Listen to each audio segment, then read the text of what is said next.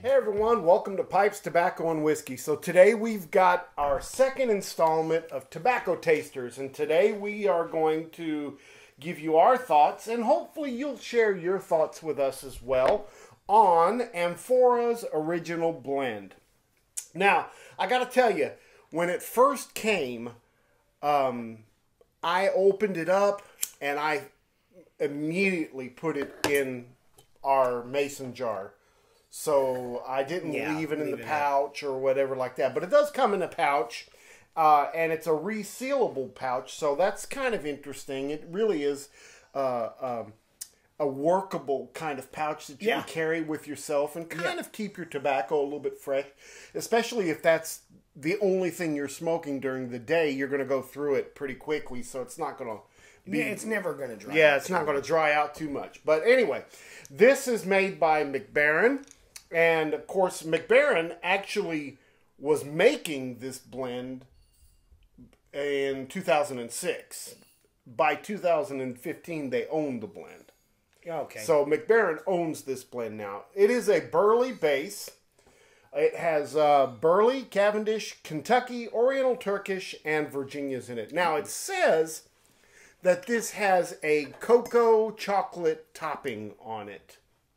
We'll talk about that as we get into it a little bit. It's a ribbon cut. It comes in 50 gram pouches. It's made in Denmark, and you can get this just about any place that sells, you know, online places. Uh, you may be even be able to go into your grocery store or your drugstore. yeah, I saw it at a local tobacco shop that's here in town. Um, they have it right next to the Sir Walter Raleigh and the half and half. Yeah. Strength on this is moderate. The flavoring on this is mild. The taste is moderate. So let's go ahead and start talking about this. Now, guys, we want you to share the experience with us. So make sure, please, that you're doing these things the, um, as we are doing them so that you can kind of uh, give us your opinion on whether you uh, smell and taste and, and, and, and uh, get these uh, notes that we're getting or if you're doing something different. Okay?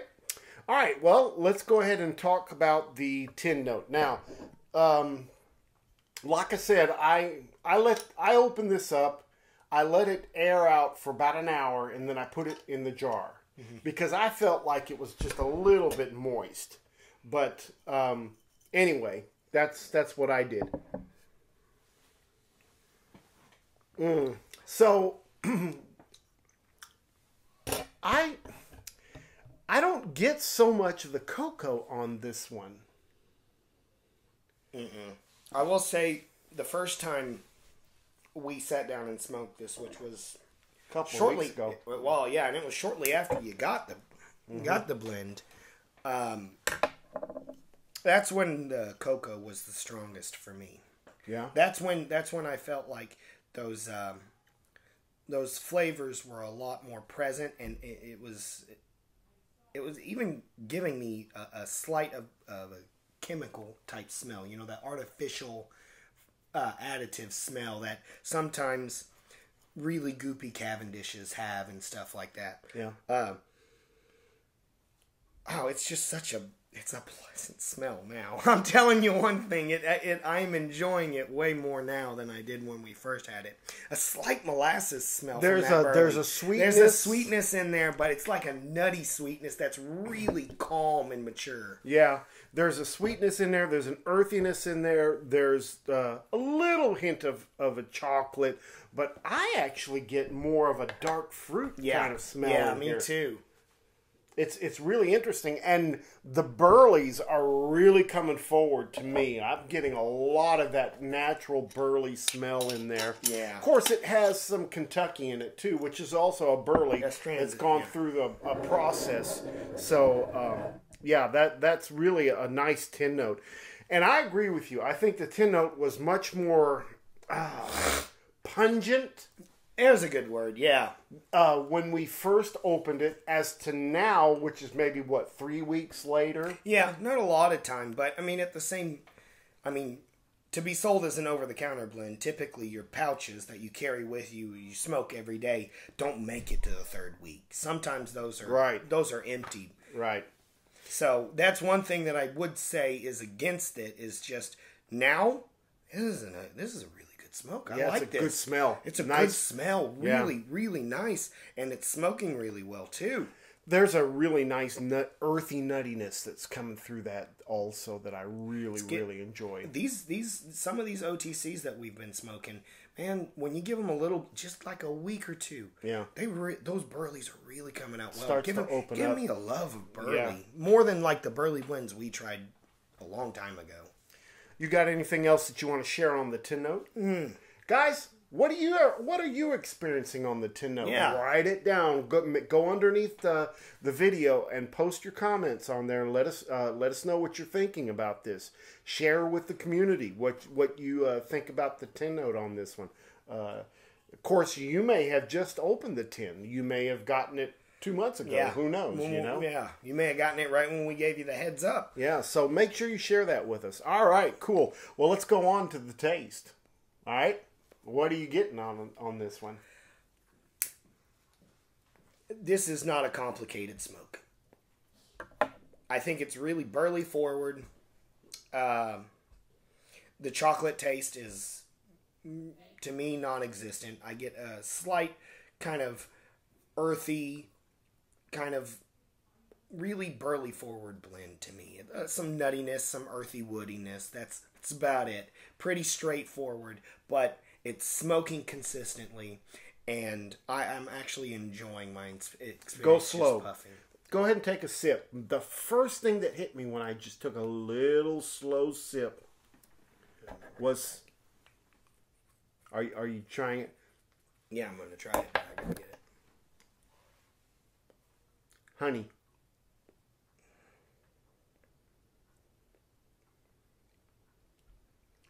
Yeah, a little sweetness. There's there's there's a, there's a little honey in there in that uh, profile as well. Uh, definitely getting the smoky kind of earthy tones to it that Burleys are, are known for. Yeah, see, just that little, and it's on the exhale, right when you open your mouth after that little sip, and it just kind of sits there on the tip of your tongue. Yeah. that's where you get that nice little, that little poof of sweetness. Like the only thing, and I don't know how many people are going to be able to relate to this, but when you used to buy the old school hot chocolate tins, they came in like coffee tins.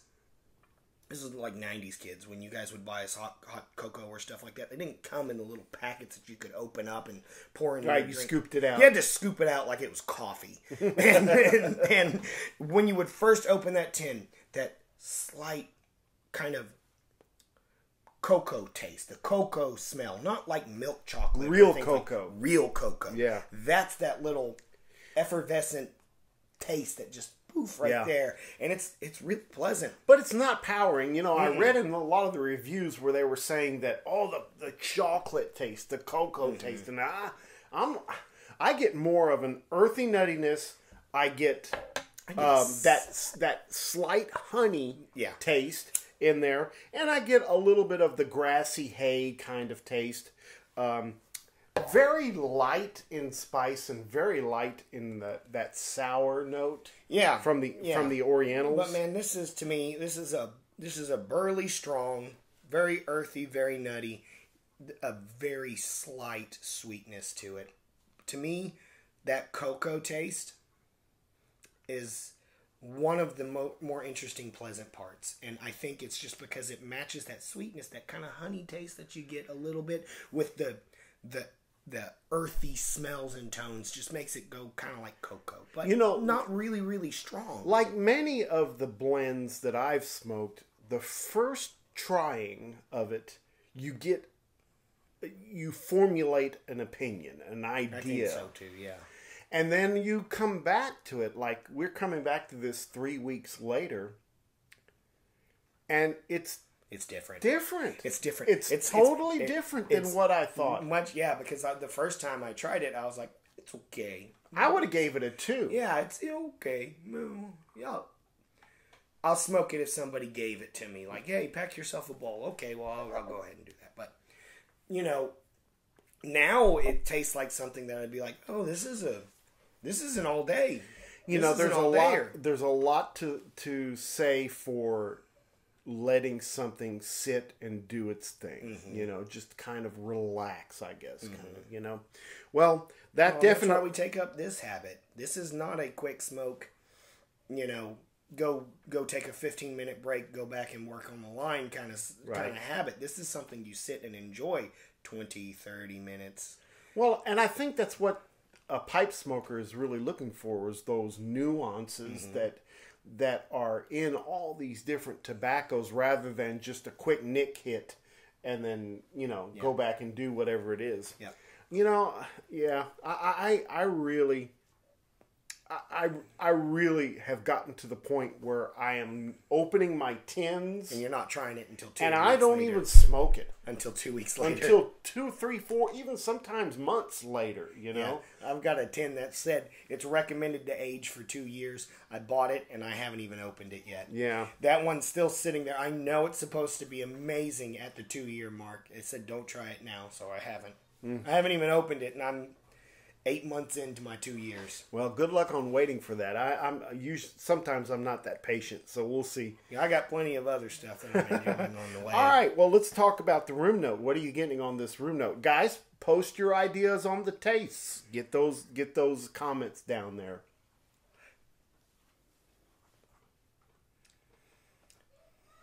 So this is a pleasant room note to me. What All are you picking sudden- up? What are you picking up in your room note? Man, it's really. I'm picking up smoke, Yeah, there's a a smokiness, smokiness. like like a woody smokiness. Yes, yes, like like fire pit. oak Yeah, yeah. thrown on it or something. Um, and I think that's from the Kentuckies. I think so too.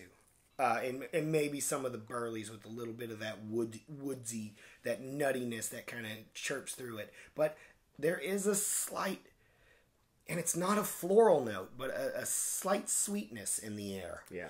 And that's where I'm really, really, and I think that's where it's playing with my taste buds. As we're both smoking the same tobacco, I am smelling the sweetness more than I'm tasting it, but it's consistently recirculating. So look itself. at look at our list of of tobaccos. Which one have we not talked about? That Cavendish. Yeah, there's like, and we don't even have any notes written about the Cavendish in the I smoker. think this is where the Cavendish think- comes out because I think there's a slight vanilla. Yeah, that's what it is. Yeah. because I was like, it's not a floral scent, like a very fruity, um, you know, peach flavor in the air or anything like Right. that. It's it's it's it's just a sweetness that you get from just like, oh, I just want a little sugar with that, my coffee, and that's the kind of sweetness. Just a Yeah. very very light sweetness. Yeah, that's that's what I'm getting also from the from the room note. I get the, I get that smokiness that we talked about, that earthiness. Um, I get a little bit of kind of a floral hint, but I but I also get that that little that's where the that- vanilla. Yeah, this is where the that that sweetness is playing in, and I think that's the the part that keeps drawing you back into the puff, is like, because I can't put my pipe down. Because I want to keep smoking it because something keeps telling me, "Ooh, that what was that? What was that? What was that? What was that?" You know, I've I've tried this a couple of different ways. I've tried to uh, smoke it nice and slow sipped. I've smoked it regular my, at my regular yeah, cadence, and I've smoked this hard. Yeah, And all three ways were a different experience, but not an unpleasant experience. It was all three ways a uh, an enjoyable experience, something uh, different and new. Um, I, I really did like it. All right. Um, we want your thoughts about the room note. Make sure you're putting that in your comments. Um, this is. I, I'm. I'm. I gotta say, I am enjoying this. A couple weeks after two or three more goes than I was when we first opened this. Yeah, because when we first opened it, I think I would be with you right at a two and a half, maybe a two. It was a You know- okay smoke. not to say that this is an inferior quality leaf that they're using. Mac Baren uses great stuff. But I wonder if it's leaf that has not undergone quite the rigid inspection and aging and uh, drying and Yeah. you know all of those This is their processes. this is their stockpile, and they just go just grab a handful. So every now and then you get some really good stuff, but then at the same time, it's not the stuff that's been filtered through and quality out. This is the oh. I'd be interested in hearing your thoughts too, guys, because we're we're wondering about the consistency from pouch to pouch to pouch. You know, is this going to taste exactly the same? Uh, maybe three months from now when I when I buy, a again. new pouch, a new pouch. Yeah, that's yeah. something that I'm interested in too. Yeah. You know, I th- I thought the moisture level on this was a little moist. I think it and was I- moist when we first got This it. particular batch that we're smoking, I let sit out for about twenty minutes. Yeah, this is this is right where it's at right now. I'm I'm having to go back for some relights, but I'm not sure if that's because I packed it quickly or uh, because you know the state of the tobacco itself. But I still think it's just a little too moist for my comfort when I first smoke it. This is like in all those OTCs. What I do in the mornings is I'll grab my package, I'll take a pinch out my um, my day's worth of smoking. I'll put it in my bowl and I'll set it right there on my armchair in my truck.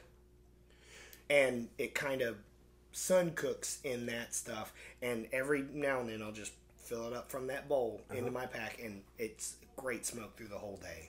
I've gotten to the point where my morning smoke, whatever I think I'm going to smoke in the morning, Mm-hmm. I'll set it out overnight. Oh, that's cool. Yeah. Uh, especially, like, I've been getting to smoke a few aromatics in the mornings. And my favorite so far has been the chocolate flake, the Bob's chocolate That's a flake. pretty good one, yeah. But you know, it is pretty moist, and so I, I'll I'll rub that out and I'll set it in a bowl overnight. Come in the morning, load it in my pipe, and start smoking it. And go. It's it's perfect that way. It's absolutely perfect.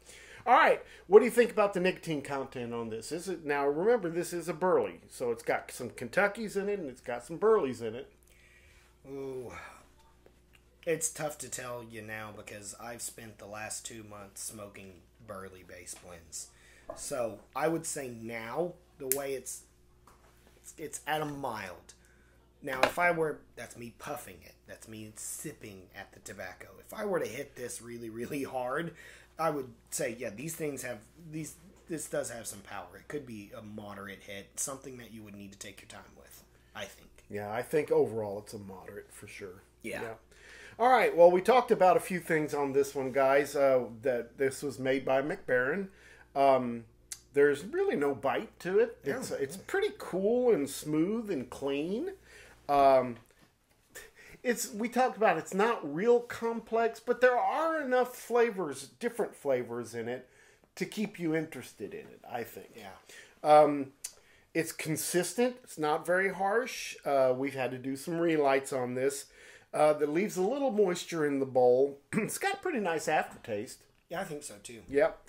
Uh, and it won't ghost a bowl. That's one thing I've always been worried about is with this particular tobaccos. Uh, what are they going to do to the pipe that I'm smoking them in? And they, they don't do too much. They just smoke through, like most quality other tobaccos that we've smoked as Yeah. well. I've always felt like Burley's kind of dry out a bowl and kind of refresh it, kind of clean it, you know, uh, for lack of a better term. Maybe that's what it's doing. And that's why Yeah, I don't I, I, that's what I always thought that my Burleys did for my pipes, but I don't know. We'll, you know, maybe it's just my imagination. Um, definitely an all-day smoke. I think so too. It's easy on the palate, burns pretty well. Mine, look at look at that. That's nice gray ash in that one. Yep. Um, it's it's nothing fancy, but pretty reliable and absolutely predictable. Yeah. That's Um, one thing. This is very popular in in Europe. This amphora stuff. Yep. Yeah, it's a big one, especially with the price of tobaccos like they are in Europe. Yeah. This one is is more of a more affordable Blend than some of the Um, yeah other stuff. than some of the other stuff. Uh, it's a classic blend that's been around for quite a while, you know. So uh, it's it's been proven for throughout time, you know. Yep. Uh, this comes in uh, 50 gram pouches. We talked about that. It's eight dollars and five cents a pouch, which comes to about four dollars and fifty cents an ounce, is what this costs. So about the same as some other bulks or Yeah. maybe low low uh, low priced tins. Yeah. Yeah. So anyway, we're we don't we don't give this a rating because that's up to you guys. You tell us what you think about this one, and you give it a rating.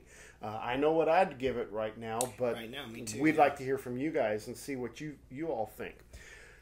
All right, well, that you know, like I said, this if I had to give this review three weeks ago, it would not have been as It positive. wouldn't have been the same. Yeah. Um, it, it, it it really has gotten better over the short time that we've let it sit. I think so too. Yeah. Um, the next Tobacco Tasters is going to be the last Monday in April. I believe I looked at the calendar and that was the 25th of April. Okay. And we are doing Mac Baren's, and boy, another Mac Baren product Mac Baren's Vanilla Cream. Now, you can get that two ways. You can get it in a bulk or you can get it in a tin. And I've bought both, and I'm smoking both right now. So I'll give you my thoughts on both of those. But uh, that's going to be the next Tobacco Tasters. Next week, I'm going to share a video with you that um, I was lucky enough to do at the Muletown Pipe Show. It's a video uh, on how to finish a pipe. You remember that we bought those RNA treasure Yep. pipes, and Yep. they were they were bare wood, and we kind of did some finishing on there. Well, this video gives you even a little bit more that you could do to make those pipes look really, really great. Very cool. Yeah, so I'm going to share that with you guys next week. All right, got anything you want to share? Uh, no, I'm glad to have enjoyed a smoke. What are you smoking? That's that Savinelli, isn't it? Yeah, yeah. This is Savinelli with their balsa wood system, but Dry, I, s- the, Yeah. dry system, yeah. I am missing the balsa wood. You know, it's funny that that, that has a P lip just like a like a, a Peterson. Peterson does. Yep. That's interesting. That's interesting. I'm smoking an Italian Mimmo Provenzano. Um, what is that? A bull cap? Is that a bull cap or Yeah, a or Rhodesian? Yeah. Um, Morta. Yeah. This is this is. Remember that morta that I bought and then it cracked. yeah. They sent me this one for a replacement. Oh, that's cool. Yeah. I didn't know you had to. You, got a, an, a replacement. Yeah, they sent it to me. I just had to pay the difference in the price, Oh, okay. and they didn't even charge me shipping. So that was cool. So yeah, that's that. That is really nice because I remember you told me it cracked. I got that one fixed. Yeah. I sent it to Briarville, and he fixed it. I smoked it. It smokes great. Huh. Yeah, no cracks in it no more. You put a bowl coating inside, it works great. So anyway, I'm I'm pretty pleased. All right, guys. Well, we do appreciate you watching. We hope you enjoyed this. Give us your feedback. Let us know what you think about these tobacco taster episodes. Also, if you have a tobacco that you want to try for tobacco tasters, please send that to us because I'm kind of at a at a blank right now. I know we've done uh, Virginia Perique. Yep. We've done this one as a Burley. Yep. Next month we're going to do an, an arrow. Uh, the month after that, I'll pick an English to do a, a bulk English, and after that, I don't have any. So send us your ideas. Yeah. let us please know. do. All right, guys. Thanks for watching. Don't forget, Make all your piping moments count. we'll see you next time. Enjoy your week. Go have a great smoke. Thank you, guys. Bye bye.